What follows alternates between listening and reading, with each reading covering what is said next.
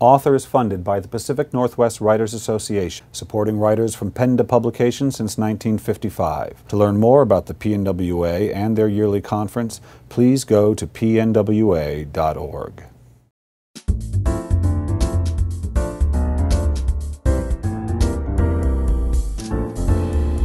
Hi, this is Bill Kenower for Author Magazine, and today I'm at the University Bookstore in Seattle, Washington with Gail Carriger, author of Competence. Gail, welcome to Author.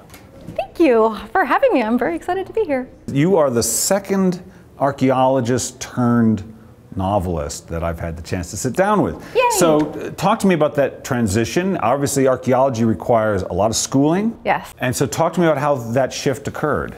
Well, I was uh, about two years out from my PhD, and I've always written as well as been an academic. But I thought uh, you don't make a living as an author. like that was the one thing I Who was pretty told you sure. that? Well, I grew up on a commune with a bunch of artists. You and did? Stuff, so Where was the commune? uh, out in Bolinas. So it was very sort of hippie, Yes, crunchy. Okay. exactly. And and and the, the the message you received is there's no money in the arts. Yeah, well, I hung out with a bunch of poets and like beat poets, and Ah, right. yeah, that was all my parents' friends. I see, And okay. so, and they were always poor, and yeah. But you like to write. But I like to write. I like to do other artistic things as well. But I was like, I will instead. I'll be an archaeologist because I love history, and that's so lucrative. Okay, so you were looking at all this stuff and Yes. analyzing it, and uh, but and so while all this And is happening, still writing. and, still, and when you, when you say writing, you were writing stories. Yes, yeah, just for myself. Just uh, a lot of high fantasy in particular, but always very weirdly tangential to archaeology. So uh, always um, relating to. I like to borrow from ancient cultures a lot, or you know, build my worlds or my magical systems around Right. kind of obscure. Um, Well. Tolkien was a well, he was an histo- he was a historian, Yeah, wasn't he? yeah. And so studying the ancient worlds does help in world building quite a bit. Gives it some kind of detail, right? And it's really helpful for what I initially wrote and what was kind of my breakout success, which was steampunk. Because steampunk is very object driven. yeah. So, and I, you know, look at objects as an archaeologist and I think, what does that tell me about the person who owns that object? Or what does that tell me about the culture that created that object? So I already had that kind of. So Soulless was a was Soulless a, a, a steampunk that was- considered steampunk? It's steampunk, yeah. yeah. So set in that Victorian. All retrofuturism, yeah. like, what is the great appeal of like it? It's got to be that time. Yeah. And it's these big things and everything's Yeah. clunky. And I mean, I kind of get it, but but since you're immersed into it, what is the appeal of that? I have the, all of us, all of us within, especially second wave steampunk, are have all sorts of theories on why, Why? and why then it, it is fading now, but why the fascination 2007 to you know 2013 or whatever it was, um, and and I.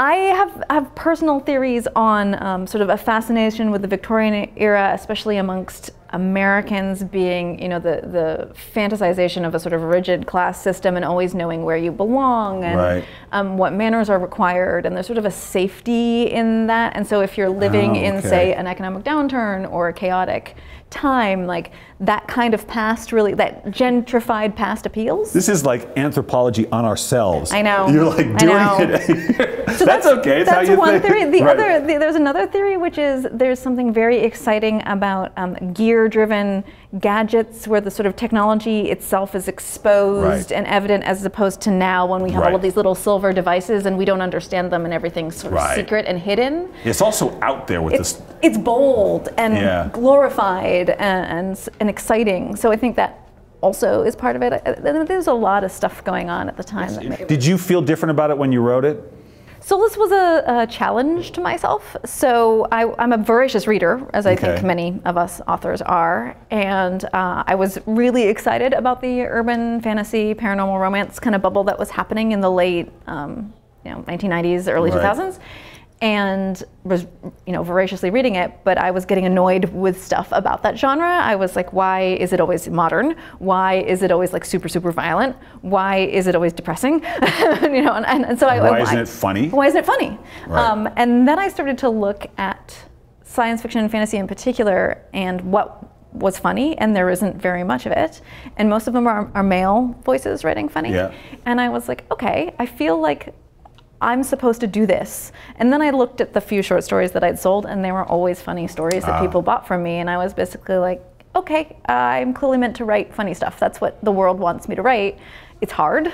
It's really, really, really Why is it hard. hard? It, I will fight you to the death that it's harder to make somebody laugh than cry. It's, and any, I think any performer will tell you that. I think it's. and Actually, it- there's a great there's a great quote by an actor. They say tragedy. They say comedy. Now that's hard. now that's hard. Yeah, it is. And it's really hard writing it. How often are your characters themselves funny? A lot. They themselves Oh, are funny people. Well, most of the time, actually, my main characters tend to be straight men, or that, Ah, and and then funniness it's, there's these like hysterical characters bouncing off of them. Ah. It's really hard to dwell in eccentricity for a really long time. Right. Um, but but if you have a foil, so one of the great things about Alexia is my my first character is she's a straight man, but she is she's soulless, hence the title of the book. And in that in my universe, that means she completely lacks creativity. Um, or kind of spontaneity, or all of these things. So she always reacts practically to every situation. So I can put her in increasingly ridiculous situations, and she's always going to react in this very like straight, practical, sarcastic way, which is funny. Right. But she's not She doesn't see- consciously being right, funny, right? right. And that's delightful to write. Um, and I also like gave her a foil of a, of a male love interest who's over emotional and eccentric and cra- and, you know, and big and larger than life.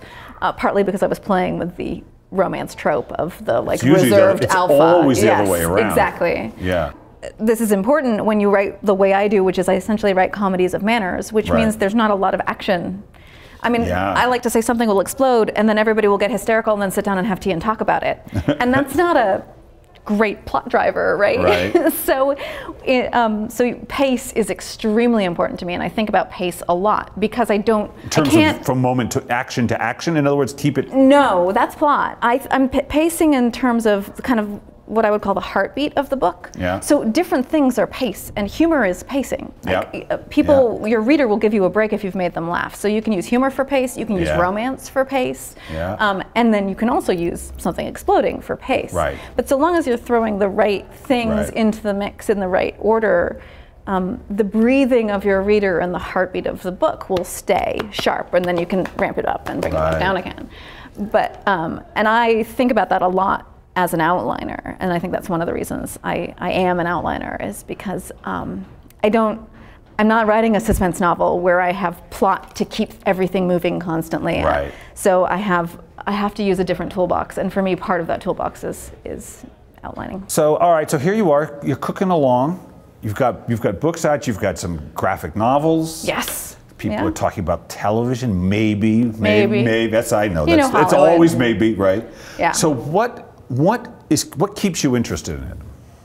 Well, I'm super character driven, and I love my love the characters. characters. Yeah, and I just like to play with them and have them Right. sleep with each other. And, Yeah. you know, I just like, yeah. And I do write comedy, so I never have to kill anybody off, or if I do, I can do it sort of Greek style, where it's like Right. on a vat, and, uh, you know, drowning in a vat of custard or something. You know. So you we don't talk about it. So you look forward to spending time with those people. I do. I wouldn't write them if I didn't. And I'm very, um, very dialogue driven. Mm-hmm. Uh, I always find I can, I can't really write a story until I can picture two characters having a conversation with each other. Um, I Oh. call that the epiphany moment. And it's not necessarily the opening scene, but once I have usually the main character and somebody else, sometimes it's their love interest or sometimes it's a best friend or something. Once I have that moment, I'm like, oh, I can write this book now. oh, okay. And that's I think that's because I, I just two characters they I see it like a movie in my head and I just go and they start talking to each so other. interesting. It's so different than like this is the world and this is what's happening and this is the evil thing and this Yeah. is the which is so often driven by these kinds of stories. yeah. No, in in my case the world is there and it's very like right, but it, but it's the people talking to each people other. talking to each other. That Oh, good. Um, but that's comedies and manners, right? We have one more question for you, Okay. Gail, and what I would like you to do is finish the sentence. Okay. If writing has taught you, just writing, period, has taught you anything, it's taught you what? People will forgive you for changing their opinions if you make them laugh.